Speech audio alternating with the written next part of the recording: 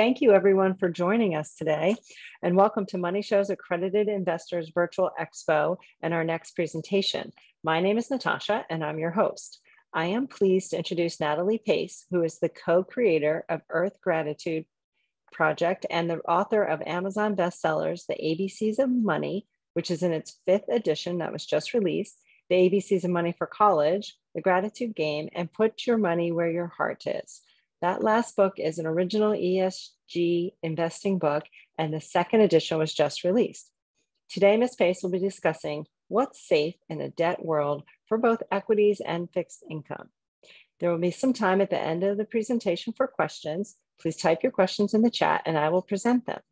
Thank you, Natalie, and everyone for joining us. And Natalie, we look forward to your presentation. Thanks so much for having me. Um, great. Can you everybody see me now? Thank you.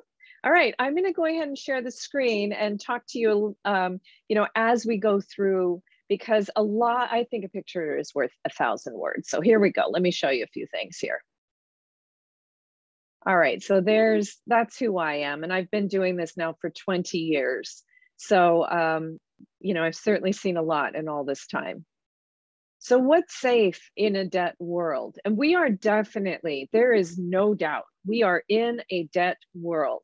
It's the leverage that is happening today worldwide is unprecedented. So we have to be cognizant of that. That's not just a flashy title to get you to tune into this. So over half of the S&P 500 companies are at or near junk bond status. It's really important for you to realize that the higher the dividend, the higher the risk.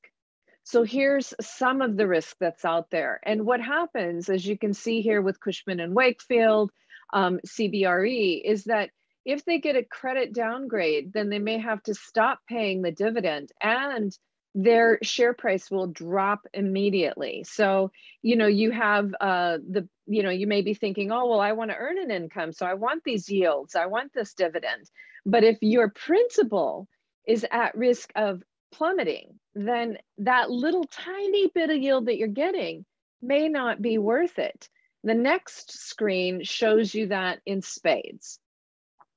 The NASDAQ, which is rich in growth, biotech technology has almost tripled the returns of the blue chip index, the Dow Jones Industrial Average, where there tends to be, of course, there are some, uh, you know, growth companies in there and um, newer companies, but they tend to have a lot of the older companies with heavier debt and much slower growth. Sometimes there's even stagnating growth or negative growth.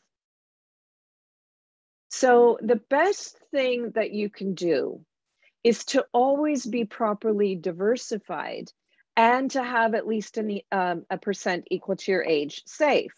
Now, in today's world where there's a lot, there's no value, it's getting trounced by growth, as we saw in this slide. I'm saying consider even having replacement funds for your value. So you always want to have large, medium, small. And in most worlds, uh, you're going to want to have value and growth. But in an over leveraged debt world, first of all, especially when stocks are at an all time high, what's on sale? Where's the value, right? Secondly, they're just not performing. Thirdly, they may be carrying more risk than you realize. And even if they're giving you a small yield, it could be that it's either subject to capital loss or very much underperforming the market. So we're going to talk about ways that you could think about value replacements. Look, Wall Street right now is trying to come up with a new definition of what of what Wall Street should be. I don't think you should wait for that to happen. I think you should be getting the memo now and considering other ways that you can add performance and reduce the risk in your equity side, the at-risk side, the stock side. And we're going to talk about that too. So, one of the ways is that you could consider adding in hot countries. Like, for instance, China is still supposed to grow at 8% GDP this year. And because the headlines have been negative in the US and China, a lot of the um, equities and the ETFs are trading pretty low. So maybe you could think about a large value replacement and have China be that. Also, some of these other countries like Peru and Chile are um, benefiting from copper prices being at an all time high. In fact, their GDP growth is expected to be extremely high this year, at the highest in the world. Chile at 11 and Peru at 2.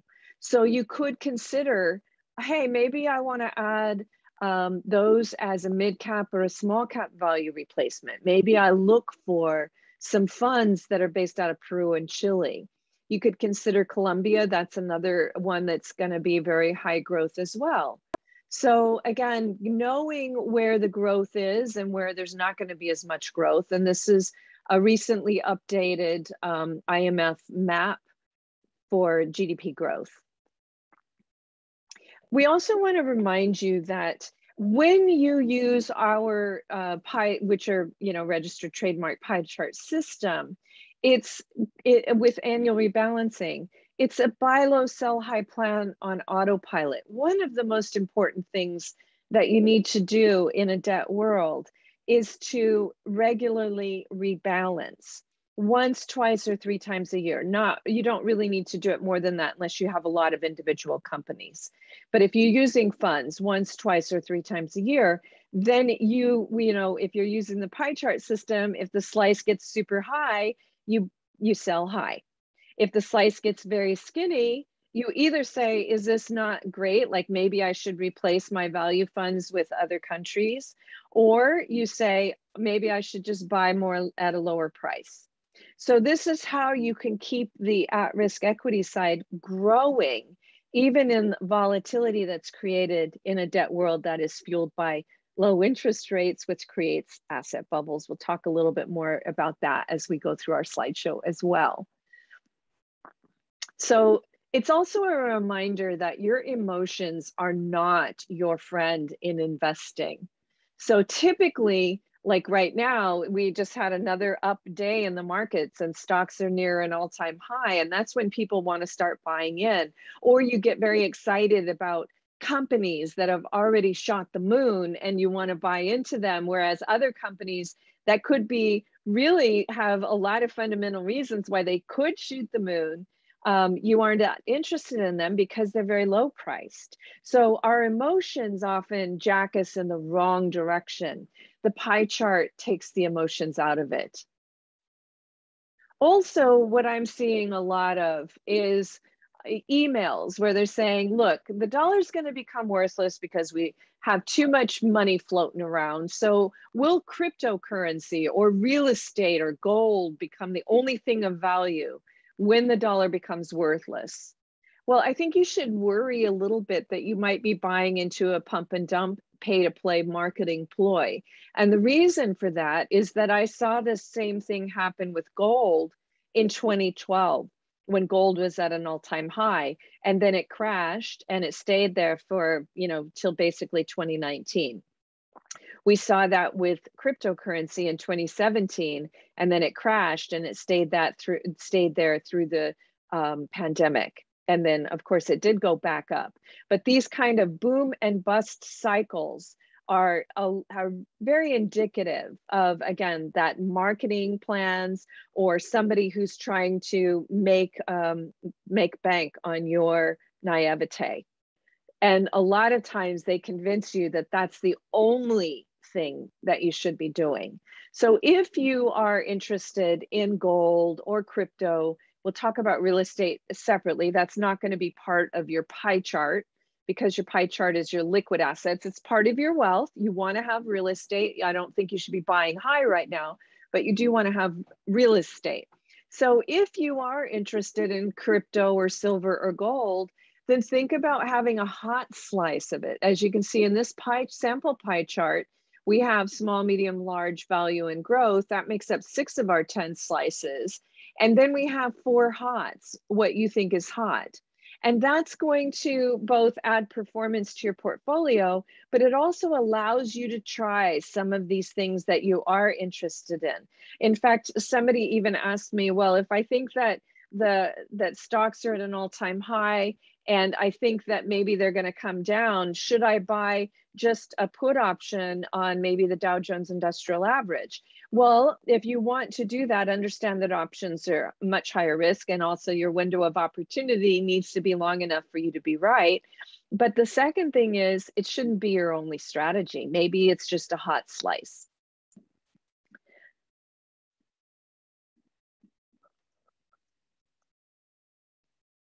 So real estate prices, and again, we're going to kind of go now to the other, uh, a broader view of what's safe in a debt world.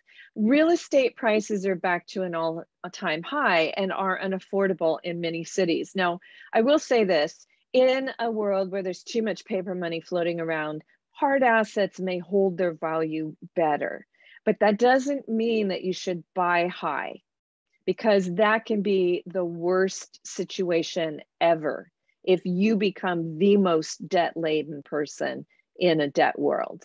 You have to be very careful of that because the last major recession, real estate prices plummeted to about half of their value in a lot of markets.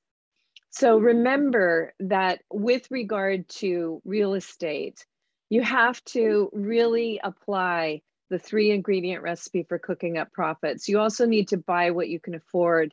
I am encouraging people to understand, uh, you know, what's going to be um, monetized in a post-pandemic world. I know a lot of landlords that are suffering due to the eviction moratorium, or maybe they were an Airbnb host and there's just not as much travel happening. So, what's going to be safe income producing hard asset in a post pandemic world that you buy for a good price. We'll, we'll kind of highlight that obviously in a 30 minute uh, presentation. We're not going to be able to go through all of it. But I think the real headline here is be careful of buying high. If the markets turn and you're stuck with a house that's where it's um, the mortgage is underwater or the house is underwater on the mortgage, it can really ruin your life for a very long time and your credit score goes in the toilet. So uh, one other thing that I think a lot of people don't understand about crypto is the average holding time of Bitcoin is less than three months. Other cryptocurrency coins are even more actively traded. So a lot of people think, and you're getting sold into this idea that you better buy and hold because Bitcoin's going to become a million dollars a coin and everything else is going to be completely worthless. And the reality is that people are buying and selling, and the average hold time is less than three months. And every time it hits a high, the whales go in and capture gains and it just goes very sharply down. That doesn't, it is incrementally increasing in value. So there is um, definitely a reason to like it. I personally do invest in crypto, hot slice, but at this point, I'm be, and also because I have a heavy emphasis on sustainability, I'm more interested in the lower energy coins. They're also a better bargain and they do have more volatility than Bitcoin at this point. So that creates opportunity too if you have um, a buy low, sell high plan or a rebalancing plan in place. So, in other words, if you're aligning your expectation of what's going to happen with the um, with what is likely to happen. So if you think that Bitcoin is buy and hold, but everybody else is trading it actively, then um, you know you are definitely putting yourself in emotional roller coaster because when it goes up you're going to be very elated and when it crashes you're going to be really devastated and worried and also if you have a, a, lot of money in bitcoin and it goes down to half of its value your credit score goes down your ability to buy other assets goes down and you have to wait to recover from losses that's very, very um, hard emotionally. It's hard financially. It could be hard on your family and your relationships as well. So, gold is very volatile. It is the lowest performing asset of the last 10 years. Also, it's important to remember that when gold crashes, it can take a long time to recover. So, you know, when gold hit its highs in 1980, it took 25 years to recover. When gold hit its high in 20, uh, 2012, 2011, um, you know, it was in the toilet for, until about 2020, 2019. So that's a very long time to have an asset that's that far underwater. But on the other hand, The last time gold hit its high was when the S&P um, S&P Global downgraded the U.S. credit to AA plus, and that happened August 5th of 2011. Fitch Ratings currently has the U.S. Um, um, AAA rating on a negative outlook. So if the debt ceiling and budget are not resolved by December 3rd, uh, we we do have um, a high likelihood of a credit downgrade from Fitch and probably Moody's as well. So that is positive for gold. Um, it's, I believe, even more positive for silver because silver and gold usually both run in tandem. In fact, the last time when gold hit its all time high, so did silver. And now silver is about half of where it was when it hit its all time high, whereas gold is pretty close to its all time high. So I think the upside potential, if you're interested in that kind of play, is silver. The other side, too, though, is that it is positive for cryptocurrency be, um, if we get a credit downgrade because crypto is the new gold. So again, there are a lot of other cryptos outside of just Bitcoin that you might want to look into. And if you're more interested and worried about the energy hog status of Bitcoin and Ethereum, there are altcoins that have uh, a lower energy usage.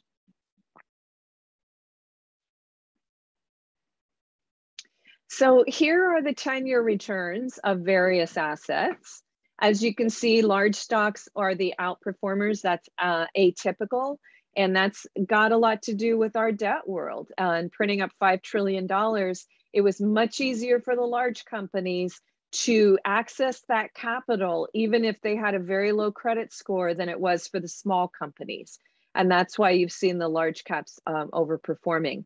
As you can see here, gold is really the underperformer over the last 10 years. And that has a lot to do with 2012 being the high and then crashing down and still now, only now in the last year or two, starting to come back.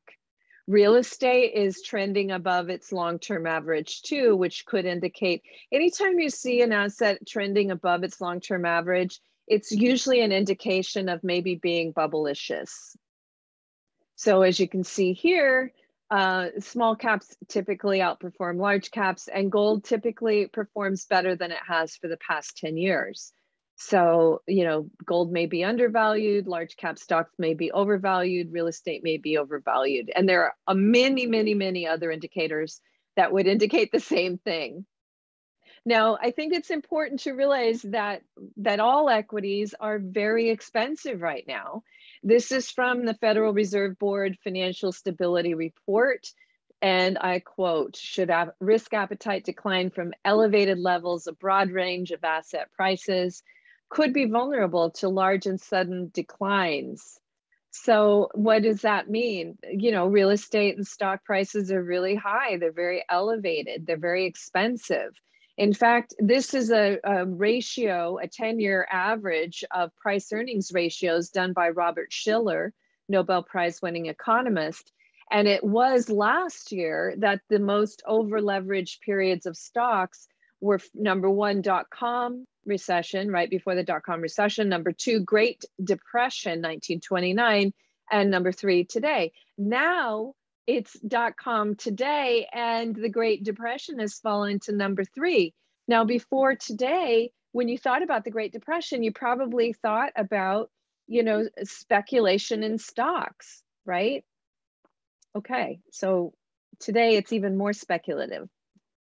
Very important to realize that a debt world and low interest rates in particular create asset bubbles So again, what can you do about it? Well, if you're really worried, overweight safe. Pretend you're a little older than you are. So one of the best things that you could do before a recession was simply overweight safe. Because if stocks drop by half and you're 50, you overweighted 20% safe, then your 30% in equities only went down by 15. So your overall portfolio only went down about 15%. And in a normal world where bonds give you a yield, your bond portfolio could have made up the losses and kept you either buoyant or maybe even ready to ready to rock and roll again. Um, so if you think that the markets are over leveraged or that we could be due for a recession for whatever reason, the right answer isn't market timing or jumping out of equities. It's actually overweighting safe. Because you can't fight the Fed, you can't fight the Treasury. We learned that lesson in March of 2020. Okay, so more additional information on what's safe in a debt world. So bonds are illiquid and negative yielding. So this is a liquidity chart and it shows you here that US corporate bonds, there's not many buyers on the other side of the table should you wish to sell them. And the truth is that this was a problem before the pandemic. Bonds and Dow Jones Industrial stocks, Dow Jones stocks, so more of the blue chip oriented stocks, those were not as liquid as you know one to three year treasuries s&p 500 gold etc so it's really important for you to realize that you're not getting paid to take on the risk in bonds today. So underweighting bonds or making sure that you have short term and credit worthy uh, whether it's a t-bill or whatever kind of bond it is is very important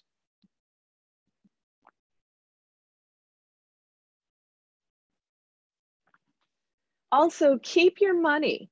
You know I, i'm reminded of a quote by roy rogers where he said i'm more return i'm more concerned with the return of my money than the return on my money. You're really not getting paid to take on risk today and there's a boatload of risk out there. So you know keeping your money capital preservation affords you the liquidity you need to be able to buy low if markets correct so think about FDIC insured cash and short term credit worthy bonds or T bills. You know, you have to worry about bonds, money market funds, annuities, REITs. If any of this stuff in red concerns you, you can get additional information in the ABCs of money. There's an entire section on what's safe in a debt world. I'll talk about that in just a moment. So, safe income producing hard assets that you purchase for a good price, considering a post-pandemic world, that can be helpful. The problem is right now, um, it's hard to know what's going to be great in a post-pandemic world for producing income, and you're buying high in most markets for your real estate. So just remember that in uh, bonds could offer a credit-worthy yield by 2024 because they are interest rates are predicted to rise. They'll start rising a little bit next year, a lot more in 2023, and even more in 2024. Also, rising interest rates could create more opportunities for real estate as well because there and additionally if there's more supply because we've just built a few more things. So be patient. Being a patient buyer and an opportunistic seller is always going to be beneficial also, every bill you eliminate could be the best yield in a debt world. Is solar right for you? Do you live in a sunny state? Electric cars can save up to half of gasoline costs. Uh, work from home could save a lot too.